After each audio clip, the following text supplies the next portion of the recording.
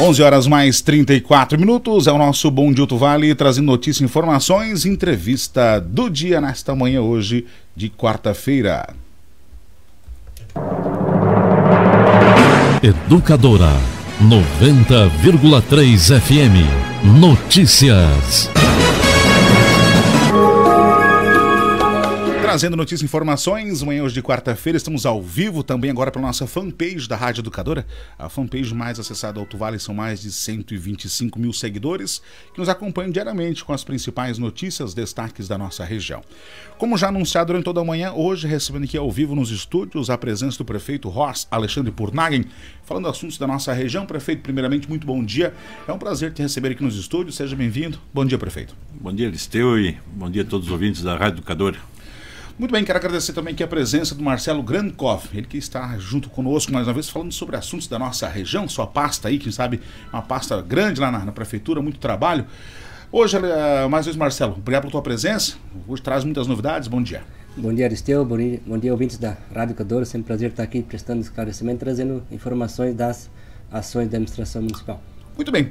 Prefeito, iniciamos hoje então o nosso bate-papo. Hoje um dia todo especial, voltado, né? Basicamente aí, para falarmos do tão sonhado, né? E está chegando aí o grande dia, o loteamento Novo Horizonte, bem, nosso, será nosso vizinho aqui próximo aos estudos da Rádio Educadora. Como é que anda aí, prefeito? A gente sabe que está encerrando aí as, é, os trâmites é, para o pessoal já conseguir adquirir o seu terreno aí. Fala um pouquinho para nós como é que está a situação aí, prefeito. É, a gente quis com o nosso loteamento Novo Horizonte, né, é, fomentar aí a, a, a, mão de obra no nosso município. A gente sente que as empresas, é, todas elas praticamente estão contratando, né, em busca de mão de obra. Graças a Deus em Itaió hoje em dia nós não temos problema com desemprego. É, dificilmente alguém não, não encontra emprego, só se for numa tarefa muito específica que a pessoa daqui a pouco tem uma formação e que o mercado taiense não absorve, mas a grande maioria do povo aí tem emprego e, e, e, na maioria das empresas aí, tanto grande como médias e pequenas aí, todo mundo tem vagas em aberto. Então a gente quis com isso lá desde o princípio foi fomentar a mão de obra no município e também quando tu não tem mão de obra é, sobrando na cidade, tu acaba não atraindo novas empresas, novos negócios para a cidade, e a, a, cidade acaba crescendo de uma forma mais lenta do que deveria. E a gente quer com isso acelerar o, o nosso Taiel aqui. Né? E, então a gente tomou essa ação com base num exemplo que a gente conheceu lá em Curitibanos uhum. no ano passado. E o Marcelo, juntamente com a equipe dele, elaborou todo esse projeto. O Marcelo é que, que tem os números dele, que acompanha diariamente, que está lá dentro do, do, setor de planejamento e também está recebendo todo esse povo que está indo na prefeitura aí, que pode dar uh, maiores detalhes de quantas pessoas estão procurando, quais são os prazos, quais são os requisitos para se encaixar uhum. dentro do, do programa, né? O Marcelo pode fazer, exemplificar melhor, dar, dar dados mais precisos de, de tudo que, que é necessário para a pessoa adquirir seu terreno lá. Prefeito, é, a gente sabe, né, que como o senhor bem falou, o Marcelo hoje está à frente aí dos números da, das inscrições e tal, mas muito ligado também a você, né, ao prefeito, a administração toda, ele traz diariamente aí os números, né? E eu lhe pergunto, prefeito, é, é, a, na sua concepção, foi o esperado? Era o número de pessoas que compareceram lá? Foi? Estava dentro do esperado essa procura? Achavam que o pessoal procuraria mais? Como foi? Até a procura surpreendeu a nós, veio é um número bastante superior do que a gente esperava mas não é todo mundo que se encaixa dentro de um perfil que a gente é, botou lá como requisito básico para conseguir o terreno, né? Então aí hoje nós temos em mais de 400 pessoas aí que, que já estão, né, Marcelo, de uma forma ou de outra, é, dentro do, de um perfil que a gente espera, mas o número que nos procuraram foi bem maior. Mas tem muita gente que não tem o, o direito de, de acessar é, esse terreno porque fica fora das regras, né? Então a gente criou uma série de requisitos aí para pessoas, primeiramente, assim, pessoas que não têm não têm um imóvel no nome, maiores de idade, pessoas que têm uma renda inferior a oito salários mínimos e assim e, e, tem se tu for olhar com critério, né, é, muitas pessoas que vêm ali procurar o terreno, é, porque são terrenos numa área boa, fora de enchente, o valor acessível, muita gente procurou, mas a, muita gente acaba não se encaixando no perfil de pessoas aí que a gente quer dar essa mão para conseguir a sua moradia, a sua primeira casa, né, para poder se fixar aqui em Itaió, sair de uma condição, às vezes, de morar de favor com alguém, sair do aluguel, ter sua, seu próprio teto, né? É isso que a gente quer, que as pessoas aí possam fazer sua casa e também sair de uma, uma condição. É, todo mundo quer sua casa, né, Aristeu? Todo mundo quer, quer, quer o seu chãozinho, né? E a gente quer, dentro do Novo Horizonte aqui, fazer também um bairro bonito, um bairro estruturado.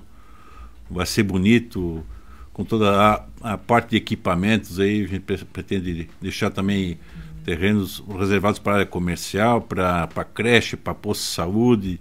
No futuro a gente quer equipar esse bairro com todas essas necessidades básicas aí que as pessoas precisam, né? Mas a, a, a procura inicial para nós nos surpreendeu. Eh, nos primeiros dias, principalmente, foi uma, uma loucura, né, Marcelo? Que pessoas que apareceram lá na prefeitura. Prefeito, é, só uma, uma dúvida aí, a gente sabe que é, tinha um período, anos atrás, que tinha as famosas casas populares, né? Que era padrão, né? Padronizado, deixar todas as casas igualzinho uma outra. Este empreendimento, esse loteamento aí, terá um padrão, todas as casas iguais, ou o pessoal adquire o terreno e pode construir da sua maneira, tenta um tamanho, ah, a casa tem que ser no máximo esse tamanho, como é que funcionará, prefeito? Não, não tem. Nós vamos dar o terreno para a pessoa, né? Dá não, vamos negociar um, a um preço de custo, vamos dizer assim, né? Em torno de 25 mil reais é, custa o terreno. A pessoa vai poder fazer o tipo da casa que ela quiser, né? mas vai ter, vai ter que obedecer um padrão mínimo aristeu. Né? Vai poder fazer casa de madeira? Vai poder fazer casa de madeira, mas vai ter que ser de madeira tratada, né? vai ter que obedecer, vai ter que nos apresentar um projeto construtivo com engenheiro, com tudo isso aí. Né? A gente não vai a, aceitar, Aristeu, que isso aqui vire uma favela. Né? É, pode ser uma casa simples? Pode. Daqui a pouco a pessoa não tem condições de fazer uma casa aí de 200 mil reais, né? Daqui a pouco ela, ela, ela quer gastar, ela pode gastar daqui a pouco ao longo dos anos aí 50 mil reais para fazer sua casa. De madeira dá para fazer, mas tem que ter um padrão mínimo né, de, de, de construtivo né, é, que a gente vai aceitar. Então, é, com certeza, a pessoa que está aqui em Itael, que tem vontade de de, de conseguir sua casa, que, que trabalha, que daqui a pouco só o marido ou a esposa ou o casal trabalham aí, eh, se fizer uma economiazinha, com certeza vai poder conquistar o seu teto e fazer a casa da forma que quiser, né? Então, só tem que obedecer um pequeno modelo construtivo aí. Muito bem. Marcelo, vamos falar um pouquinho com você agora, você que já aí, como o prefeito bem falou, está frente aos números aí, aos a, a, até os regulamentos, coisa e tal, né? É, Encerra-se essa semana na sexta-feira de 18, é isso, Marcelo? Exatamente. Na sexta-feira, dia 18, né? Às 5 e meia da tarde, assim que será o expediente da prefeitura, encerram-se as inscrições também, como já publicado anteriormente. Então foram um pouquinho mais de 45 dias de inscrições, fizemos atendimento todo sábado, das 8 horas ao meio-dia. Muitas pessoas procuraram fazer inscrição no sábado também, porque trabalho no comércio é um pouquinho mais difícil, né? E também lembrando, ressaltando que nós temos atendimento ao meio-dia, né? Então, quem ainda não fez inscrição, tem o documento em mãos ou precisa providenciar o documento e trabalha no comércio, horário comercial não pode sair para fazer inscrição, pode procurar na prefeitura ao meio-dia, né? Então, temos WhatsApp também exclusivo para atendimento na sala, que as pessoas podem estar tá mandando, tirando dúvida, se tiver algum questionamento referente a documento que precise para chegar com os documentos em dia, né? O que está acontecendo muito é o pessoal vai com a documentação, uh, pensando que está certo, que é o que precisa, mas sempre tem comprovante de residência, daqui a pouco não fecha, né? O que, que nós fizemos com, com a inscrição? Nós tomamos o cuidado de fazer essa inscrição pessoalmente na prefeitura. O candidato precisa ir pessoalmente, porque daí já tem uma conferência dos documentos para evitar retrabalho lá na frente, né? Daqui a pouco de uma inscrição ser indeferida por causa que o documento está irregular, não é porque a pessoa não seria teria o potencial de ser se beneficiar, mas às vezes é o comprovante de residência que não está correto, o comprovante de renda que não apresentou de todos, né? Até porque a renda é familiar, então é do núcleo familiar onde a pessoa mora, né? Então, independente do laço familiar, se é tio, é avô, é pai ou mãe, aquela residência onde a pessoa né, que se inscreveu uh, estiver residindo, precisa apresentar daí a parte de renda do, uh, de quem mora junto, né? Então tem todos esses critérios que nós estamos sendo já tomando um sério critério no momento da inscrição para deixar em dia, para evitar retrabalho lá na frente e que alguém também evitar que alguém seja desclassificado por causa disso, né? Então questão de inscrições passamos já de 400 inscritos, né? O fato deles estarem inscritos não quer dizer que eles garantiram a inscrição, e sim que eles já estão uh, vai ter análise e eles podem ser contemplados, né? Então tem alguns casos que serão analisados, vai ter algumas visitas, vai ser feita por parte da comissão, né? Então tem alguns critérios ali que quando a pessoa faz inscrição, ela traz documentação e apresenta-se, né? Se declara que não tem imóvel do nome, que mora com tal e tal pessoa. Então vai ter uma conferência também, Aristeu. Uhum. Pra, até porque para confirma, confirmar que a pessoa declarou os dados corretos, né? Então tudo isso vai ter um trabalho por parte da comissão que analisa, né? E acompanhando os trabalhos ali, né? Sempre estando por perto, né? Então, questão de atendimento, passou longe aí dos 3 mil atendimentos que já foi feito, né? Então, assim, muita pessoa procurando, alguns não se encaixam, outros, ah, pelo fato de ter quatro anos para construir, acha que é pouco tempo, daqui a pouco tempo, condição financeira, já está comprometido com, uhum. com alguma outra coisa, a renda familiar não é tão alta, ah, não vou conseguir construir. Então a pessoa também não está fazendo a inscrição, está dando oportunidade para outro que vai conseguir construir, né? Até porque eles têm quatro anos para construir, que seria dois anos para iniciar a obra, e a partir de iniciar a obra que tem uma vara de construção, conforme o prefeito conversou anteriormente, né? Então assim, vai ter que seguir todas as regras do plano diretor, né? Então aqui tem o plano diretor, tem o zoneamento, lá tem os critérios, né? A questão de afastamento mínimo da estrada, da testada com o vizinho, vai ter a parte de pavimento, se quiser fazer se não me engano, são até quatro pavimentos, né? Então vai poder uh, fazer a questão de horizontal também. Então tem toda essa parte de regramento que a pessoa vai precisar fazer. Ela vai ficar isenta da taxa de alvará, né? Da primeira edificação. Então ela vai contratar o engenheiro, mas ele vai fazer o, a parte de análise e aprovação da prefeitura e será isento, né? Então todas as pessoas contempladas na primeira construção será isento taxa de alvará e a parte do imposto que é o ISS ou o BITS, né? Então tem essa parte de isenção posterior da construção da, dos imóveis. Marcelo, você fala que são aí mais de 3 mil atendimentos e quantos terrenos que serão aí é, disponibilizados? Nós estamos em fase final, Aristeu, de aprovação de, de projeto, né?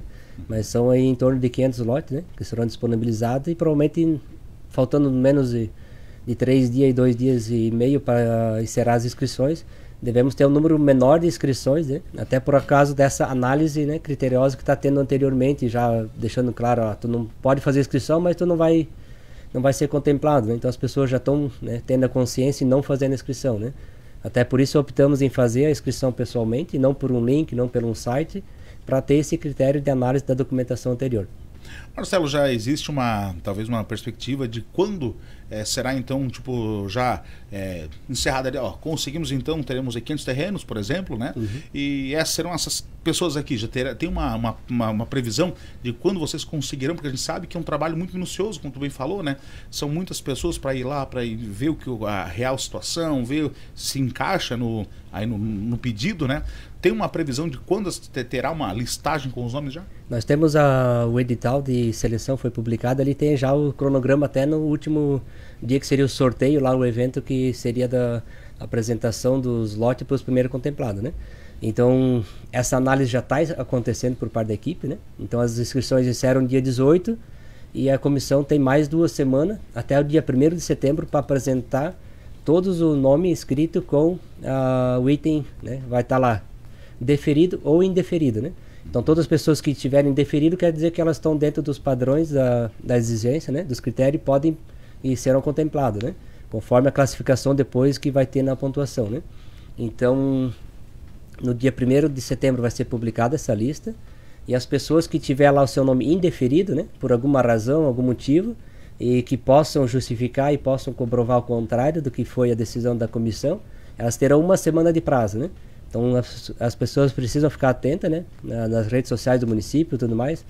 E o próprio site do município será divulgado, então, no primeiro, dia 1 de setembro, a lista com todos os nomes, todas as pessoas que foram inscritas e a situação da inscrição, se está deferida ou indeferida, né? E os indeferidos terão ali uma semana para entrar com recurso, né? Daqui a pouco é uma má interpretação por parte da comissão, um documento que não que não está correto, que precisa arrumar dentro do, do possível será dada essa condição, né? A gente sabe que a maioria das pessoas, né, apresentaram as informações corretas, mas já vimos alguns, né? A gente acaba conhecendo no dia a dia que apresentaram documentações que não está dentro do, da exigência, né, dos critérios. Né? Então essas pessoas acabam sendo indeferidas lá na frente, até porque precisamos ter os critérios para bem estabelecido, né, para ser coerente com todos, né. Então temos ali o, hoje qual que é os requisitos para participar do programa, né? Ser taioense, né? A morar no município de Itaió anterior à data do edital. Então, todas as pessoas que vieram morar para Itaió até o dia 29 de junho podem participar, porque o edital foi publicado no dia 30 de junho, né? Então esse é o requisito. Ah, tem que ser brasileiro, né? Nato, naturalizado, maior de 18 anos ou emancipado. Tivemos alguns casos aí de pais que com filhos de 16, 17 anos fizeram emancipação, já prevendo porque já trabalha, já vai poder pagar o terreno, já prevendo aí uma independência, né? Sair da casa dos pais, já poder construir sua própria casa e começando aí a sair da, ah, digamos, bem, né? Saindo da casa dos pais já tendo um local para construir sua casa própria, né? E a questão da renda familiar que não pode passar oito salários mínimos, né?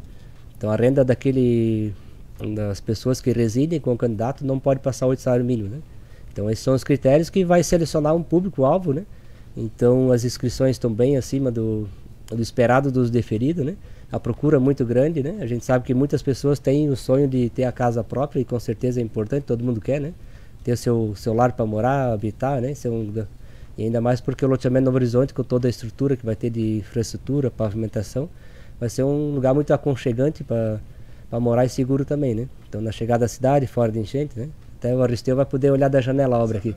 Poder olhar da janela vai poder atualizar os ouvintes aí eh, diariamente, né? Como é que estão as obras do, do loteamento. Que bacana.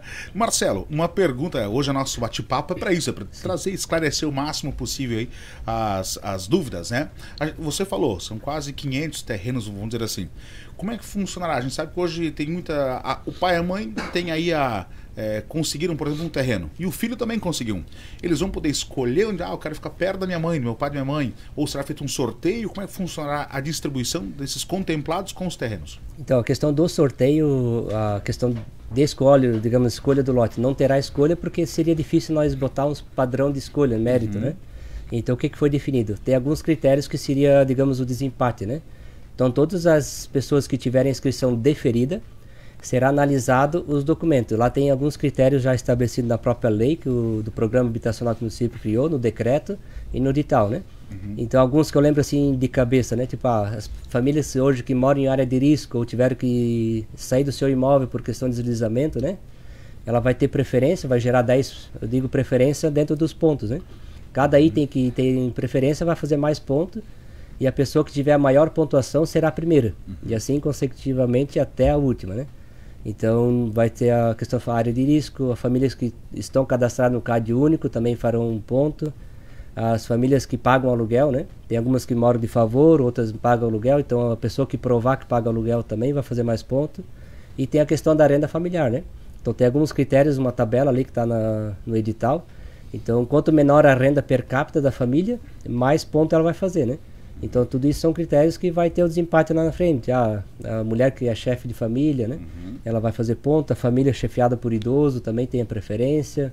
As pessoas que moram mais tempo em Itaió também faz ponto, né? Uhum. Então assim, a pessoa que está menos de um ano morando em Itaió, ela vai poder participar do programa, só que ela não vai pontuar, fazer nenhum ponto. A pessoa que está um ponto, um ano vai fazer um ponto, dois uhum. anos, dois pontos, né? Até o máximo de cinco anos, né? Então as pessoas estão 5 anos ou mais farão 5 pontos. Então esses, essa pontuação vai gerar uma tabela, né? Isso deve ocorrer lá no mês de setembro, porque a partir do dia 18 de setembro as pessoas vão entregar a segunda documentação, né? Uhum. Então lá no mês de outubro, novembro, não recordo a data exata, será publicada essa tabela com as pontuações e vai estar do primeiro ao último classificado, né? Dos inscritos. Então, como é que vai acontecer esse sorteio, né? Vai ter um evento, vai ter a questão de publicidade até para para a questão de transparência, né? E nesse evento vai ser chamado em grupos, né? Até porque não vamos conseguir colocar ali 500 pessoas num evento uhum. e fazer o sorteio individual de cada um, né? Então provavelmente vai ser botado alguns critérios, vamos chamar 50 por vez ou 100 uhum. por vez. E ali vai ser dada essa transparência onde vai ser chamado, contemplado, digamos que o Pedro foi o número um, né? Uhum. Então Pedro vai se fazer presente e de alguma forma nós vamos ter 500 números, né? Uhum. E será sorteado daqueles 500 um número para o Pedro. Onde será o lote dele? Né? Digamos que o número do Pedro ficou o número 10, né? Então daqueles 500 o lote número 10 que vai estar tá lá aprovado, vai ter bem destacado o número 10, aquele lote vai ser do Pedro. Então se a Maria for a segunda contemplada, né? A Maria vai ter 499 opção menos o 10, né?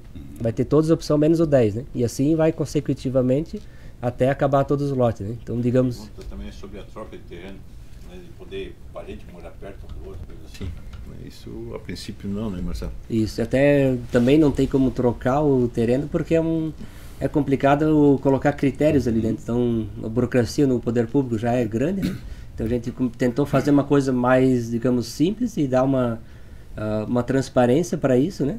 E mostrar que não tem escolha de lote de, dentro do terreno, né? Cada pessoa tem preferência, né? Uns querem de esquina porque é maior, uns querem não querem de esquina porque daí tem mais custo com o muro, uns querem no final do loteamento, uns querem no início, né?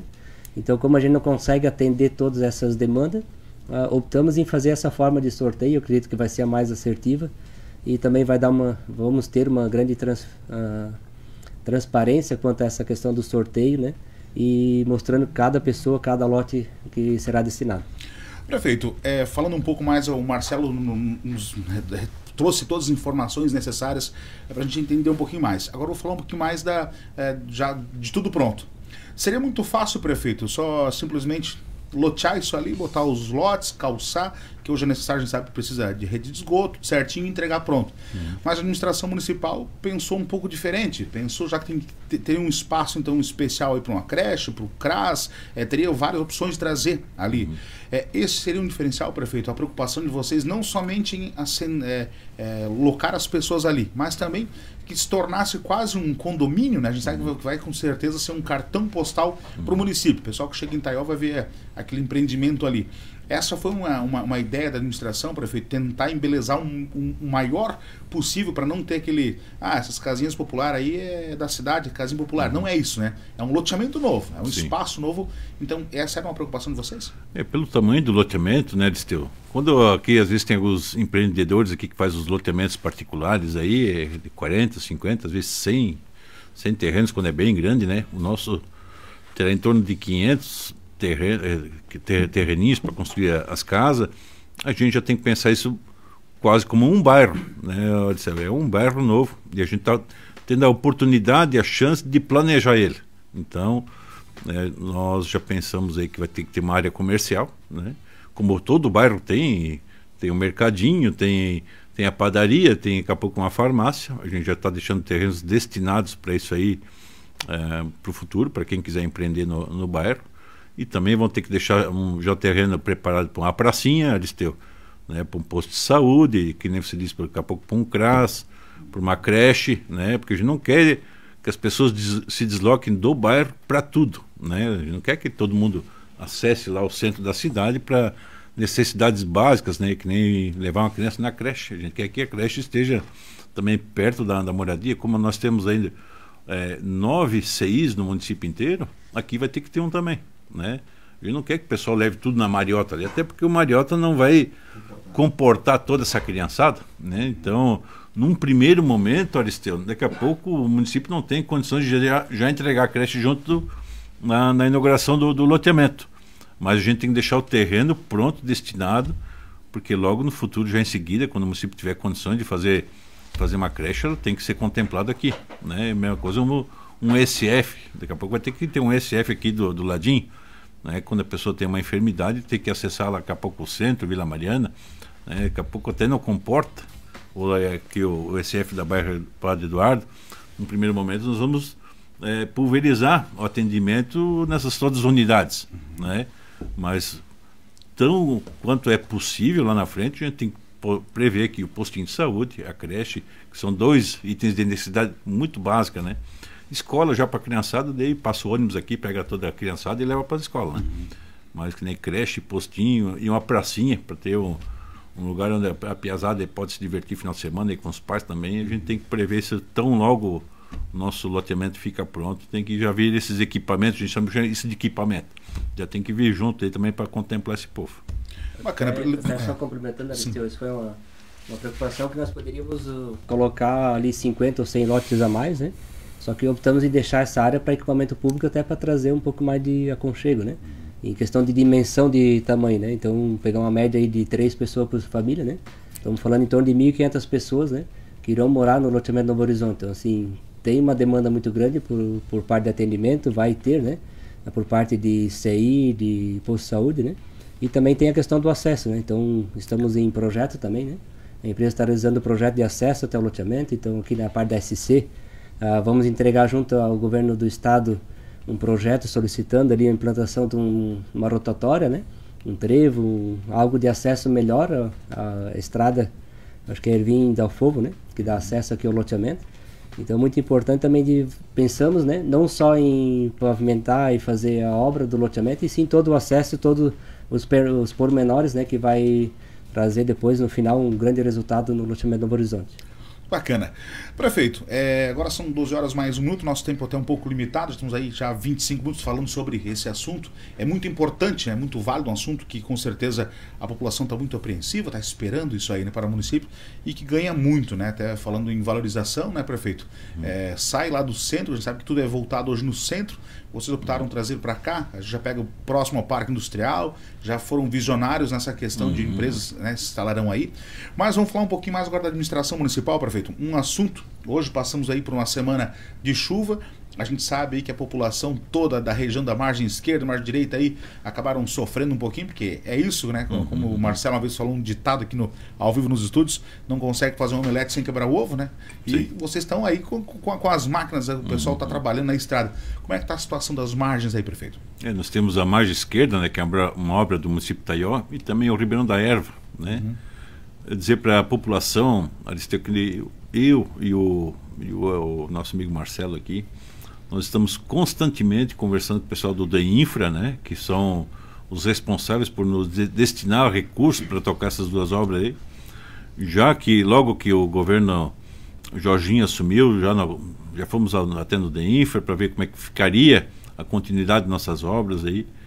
E já desde o princípio, quando o, o, o recurso ficou escasso e terminou, nós já começamos a, a cavar fundo ali com esse povo aí para conseguir a liberação de recursos. Uhum. E, e, vamos dizer assim, a promessa sempre é grande, é sempre para a semana que vem, daqui a 15, 20 dias, vai vir recurso para a empresa poder retomar as obras e não acontece, Aristeu. Nós estamos desacorçoados, né?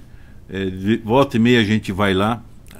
Hoje de manhã eu conversei com o secretário de infraestrutura, o Marcelo conversou com a equipe técnica lá, é para a semana que vem vir recursos de novo aqui para o nosso município para tocar essas duas obras, mas sempre está sendo para a semana que vem. Né? Uhum. Semana que vem vai acontecer. Então, assim, é, a gente não gosta de ficar prometendo que semana que vem a obra recomeça. Nós gostaríamos muito que isso acontecesse. A gente sabe que o pessoal do Ribeirão da Erva e da margem esquerda estão de saco cheio, né? Uhum. Até porque parece duas transamazônicas esses dois trechos aí. É. Né? Quando chove, vira um caos. E a gente sabe que ali tem empresas que trabalham ali, tem todos os agricultores, tem transporte de aluno, tem o leiteiro. Vira um verdadeiro inferno a vida desse povo aí. Essas obras já eram para estar terminando, Aristeu. Né? Nós tínhamos um prazo de execução aí de um ano para as duas obras aí. E esse prazo já passou das duas obras. A gente sabe que vai ter lá na frente aditivos né, que o, a, as empresas vão pedir, até porque a gente tem inflação. Né? Hoje, só para nós relembrar, né, hoje está tendo um aumento importantíssimo aí de gasolina e de diesel, 25% em torno de aumento de, nas bombas de combustível. Essas empresas trabalham com combustível, com, com derivados de petróleo. O, o, o asfalto é um derivado de petróleo. Então, quando aumenta a gasolina, quando aumenta a diesel, aumenta também os, os insumos para fazer a pista. Então a gente já sabe que lá na frente vamos sofrer o pedido de aditivo por parte da empresa, né? E quem está fazendo a obra é uma obra municipal. Isso ali não é uma SC, uma obra municipal. E a empresa vai vir pedir recurso para o município para poder fazer a conclusão da obra. E nós aqui nós vamos ter que correr atrás do governo do estado para poder receber esse aditivo a mais que, que inevitavelmente a empresa vai pedir. Mas eu queria, de, gostaria de tranquilizar e, e pedir um pouco mais de paciência ainda para a população, dizer que nós, enquanto administração municipal, nós estamos indo atrás, ninguém está tá dormindo no ponto, né? Nós conversamos insistentemente aí para a destinação de recursos para esses dois trechos aí que são tão importantes aí, das localidades muito importantes, uma que liga uma grande empresa e outra que liga um município, né? eu e o Marcelo aqui e toda a equipe, a gente faz contato constante, mas é a gente depende da destinação de recursos do governo do estado. Esse, são, são obras que a gente não faz com caixa própria da prefeitura, até porque são obras aí de mais de 20 milhões cada uma. E o recurso que a gente tem na prefeitura hoje é para tocar nosso feijão com arroz aqui. É para tocar saúde, para tocar educação, conserto das nossas outras estradas e assim por diante, né? Nós temos aí sete secretarias aí que a gente tem que nutrir com recursos aí todos os dias para dar conta. E essas obras aí são recursos extras que lá atrás nos foi prometido pelo governo do estado, governo passado, a gente tem que lembrar disso, né? É outro governo, era o governo Moisés, hoje temos o governo Jorginho, mas nós aqui estamos fazendo nosso papel de correr atrás, sempre pedindo recursos aí e estão sempre postergando para a semana que vem, ou para daqui a 15 dias, ou para dentro desse mês, ou para o mês que vem. Mas assim, tem passado os meses, Aristeu, e não pinga um centavo. Uh, Marcelo, quero agradecer a tua presença. Agora são 12 horas mais 10 minutos. É, fico feliz com a sua presença aqui. Quero que você agora é, reforce aí para que o pessoal, então, é, corra contra o tempo. Hoje é de 16, tem até sexta-feira, então, para o pessoal aí que precisa, que quer aí, vir para cá para ser nossos vizinhos educador aí, ver se consegue, né? Deixa o espaço aí para que você, então, faça suas considerações e acrescente aí qualquer assunto que for, seja devido. Exatamente, Aristão. Então, as inscrições estão encerrando essa semana, né? Sexta-feira, dia 18, às 5 e meia da tarde, encerram-se as inscrições. Então, quem aí tem o desejo de construir a casa própria, ter esse, eh, esse poder de estar conseguindo a sua, né, uh, poder de morar numa casa própria, é muito gratificante, até porque tu não tem mais uma dependência de outras pessoas e está conquistando aí um sonho pessoal, né? Então, quem tiver alguma dúvida, pode me procurar nas redes sociais aí também. Uh, e também as páginas da prefeitura, todas as páginas, redes sociais, Instagram, Facebook, site, WhatsApp, todos eles também estão né, capacitados capacitados para dar a melhor resposta sobre o loteamento Novo Horizonte. Né? E também quem puder ir pessoalmente, tiver alguma dúvida que não foi respondido por WhatsApp, né, uh, ou, ou outro meio de comunicação, pode estar indo pessoalmente até a prefeitura, que ali as pessoas estão prontas para receber a população taiwanense. Muito obrigado, Aristeu, pelo espaço mais uma vez gratificante estar aqui apresentando os projetos né, que a administração municipal traz para os taiões. Obrigado. Muito bem. Marcelo, obrigado pela tua presença. Prefeito, quero agradecer a presença do senhor também. A gente sabe que é um trabalho, uma pasta muito grande ser prefeito do município, mas mesmo assim consegue um tempinho para conversar direto com nossos amigos internautas, ouvintes da Rádio Educadora. Eu quero agradecer mais uma vez, deixo espaço para suas considerações e obrigado, prefeito, pela sua visita. Aristeu, né, só para informar a população, ainda no braço da erva, então, semana que vem, ali por terça-feira, nós devemos aí liberar o trecho ali de mais duas pontes que estamos fazendo em aço e concreto. Uhum. Esse aço aí é, é, são o resultado das obras da, da reforma da ponte Ercílio Luz. Então ali na, no, no braço da erva, semana que vem a gente deve liberar ó, na terça-feira por aí, mais duas pontes aí que ficam de forma definitiva, que não é uma ponte de madeira, ponte boa, ponte que veio para ficar, para muito tempo e não, não encher mais o saco, como se diz, né? E agradecer, Aristeu, né, pelo esse espaço. Hoje extrapolamos um pouco tempo. Não, agradecer demais aí a Rádio Educadora por sempre nos abrir as portas aqui para trazer informação para a nossa população. Valeu, muito obrigado e todos tenham aí um, uma excelente tarde. Muito bem, obrigado, prefeito, pela sua presença, que é o prefeito Horst, Alexandre Purnagin e Marcelo Grankov. 12 horas mais 11 minutos. Agradeço o seu carinho, audiência, companhia amizade. Essa nossa entrevista, bate-papo, está na fanpage da Rádio Educador, ficará lá. E também à tarde estará aí presente lá no nosso site, portaldenoticias.com, portal de notícias mais acessado do Alto Vale. 12 e 9, finalizamos nossa manhã.